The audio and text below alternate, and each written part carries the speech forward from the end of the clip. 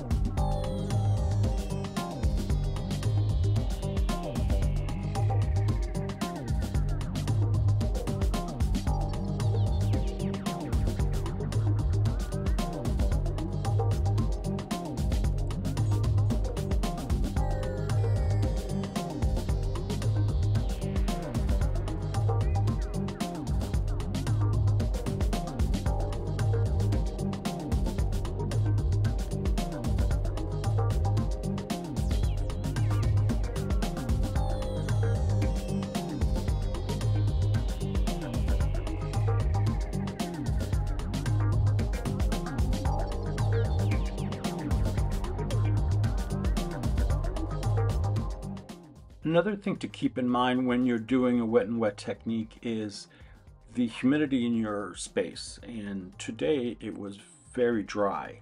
So I had to go back a few times and add water to the paper um, because it had dried on me. So, you know, um, you kind of have to work quickly in this process um, because you don't want to put too, too much water on the paper because then you create puddles. So just keep that in mind and um, it's a good uh, water control practice.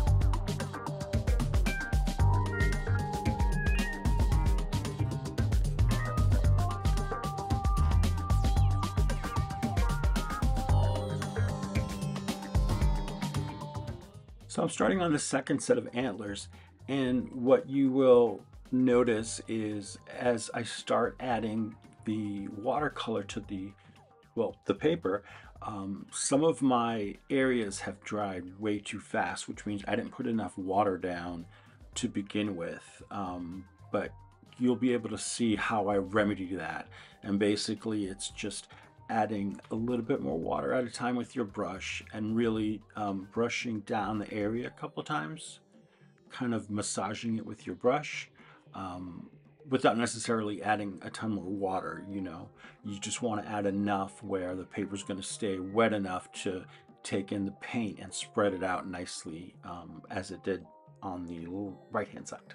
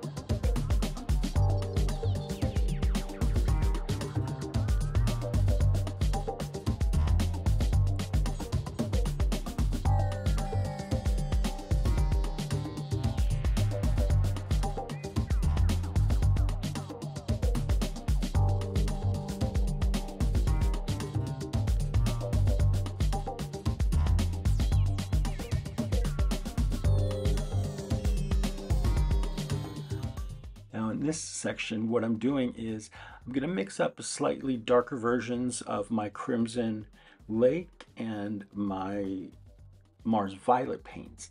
Um, and I'll be using the blues to mix in with those to get a, um, a darker version of those two colors so that as I move down the head of the book, it will um, get slightly darker, um, more into a purpley shade. And you see I'm, I'm using a scrap piece of watercolor paper to swatch out um, what I'm mixing to make sure I get the right darkness and it's not too, too dark.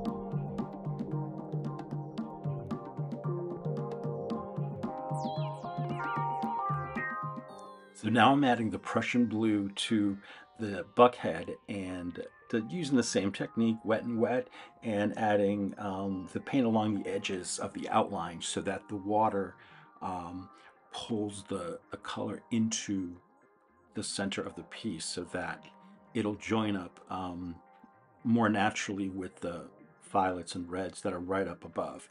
And then I gently tap around those areas with some more watercolor and you know, not so strong, and allow that those to mix together, and they won't, it'll won't create a harsh line, um, and it'll look like it's flowing a lot better. And as I continue, I'm just going to outline and darken up the edges, and then try and keep the center less dark. And you see here my paper's drying, so I tested it out and so I'm, I'm doing a better job of keeping an eye on that. And so all I do is just add some fresh water and um, massage it in and make sure it's even.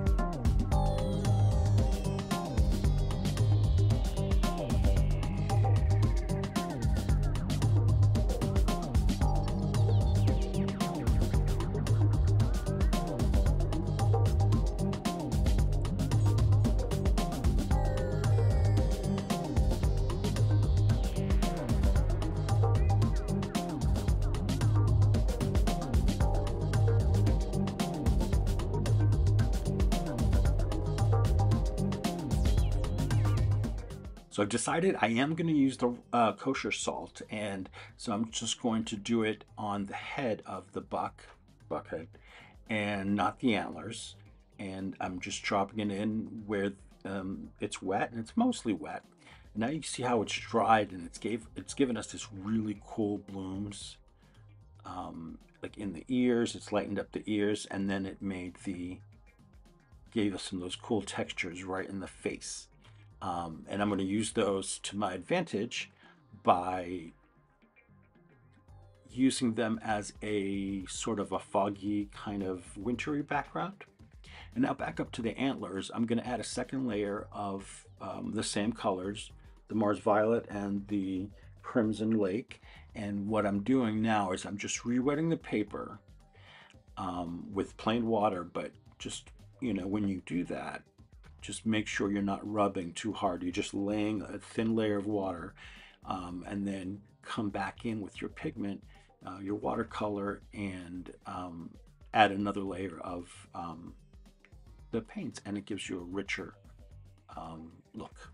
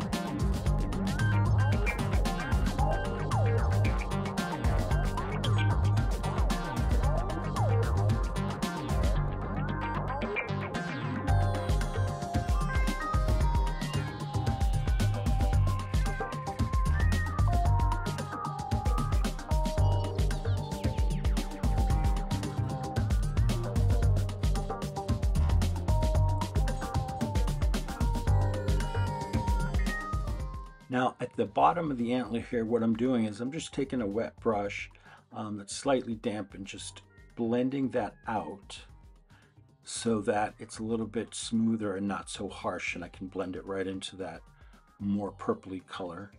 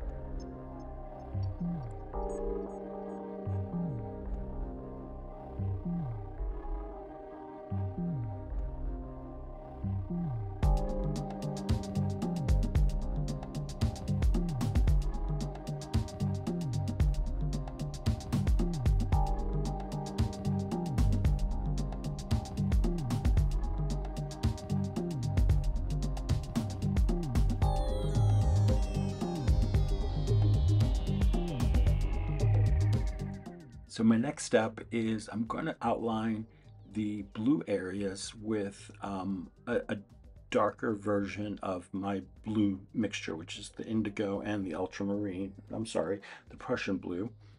Um, and they're just going along the edge in some areas, thicken it up, creating um, shadows and depth along um, the face of the buck.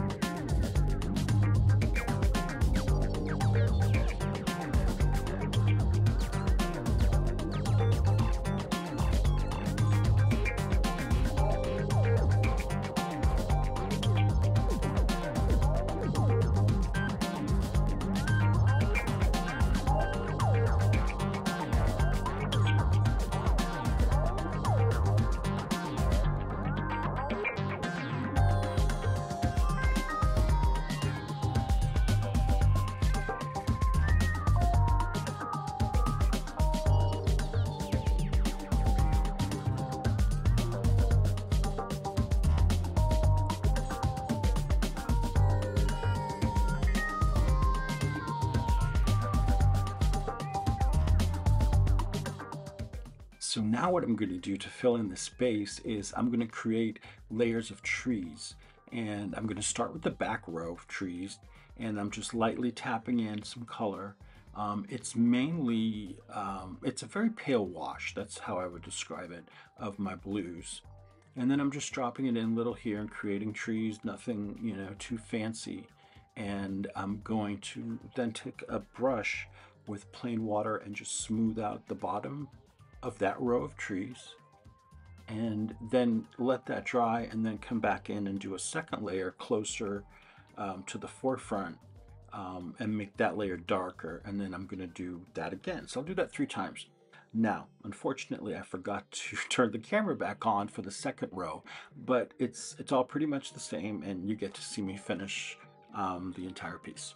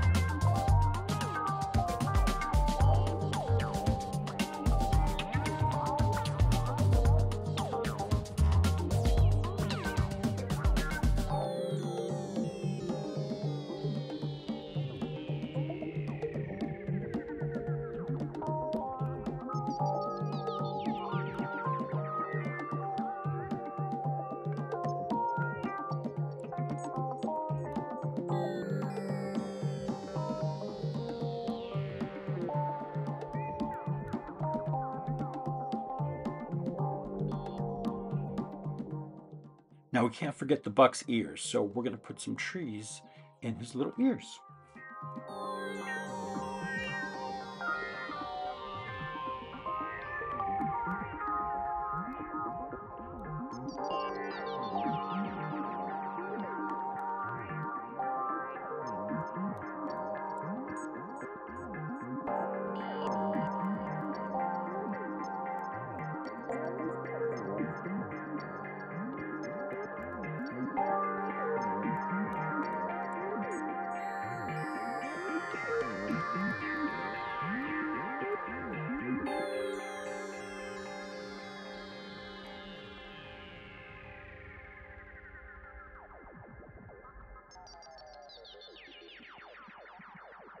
Bye.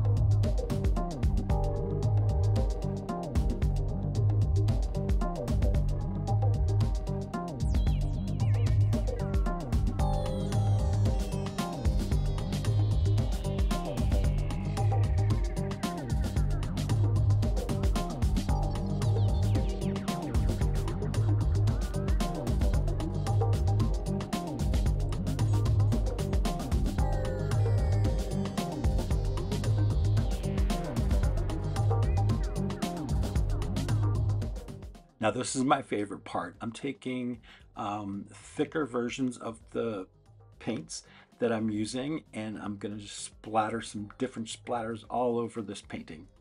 And that will take care of that boo-boo I made on the top of the paper earlier.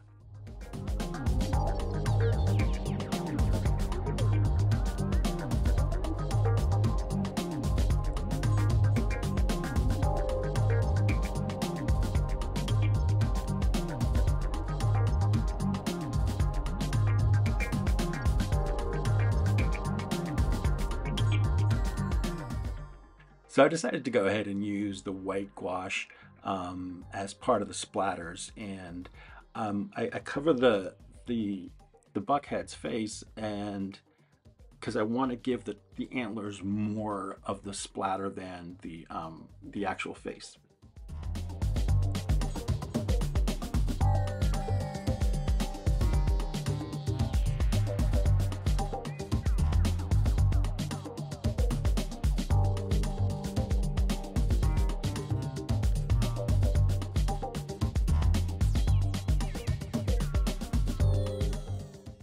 This painting is done. So I'm just to sign it and thank you for watching. And I hope you really enjoyed this process video and hit the like button if you liked it, subscribe if you haven't, and leave me a comment. I will see you in the next video.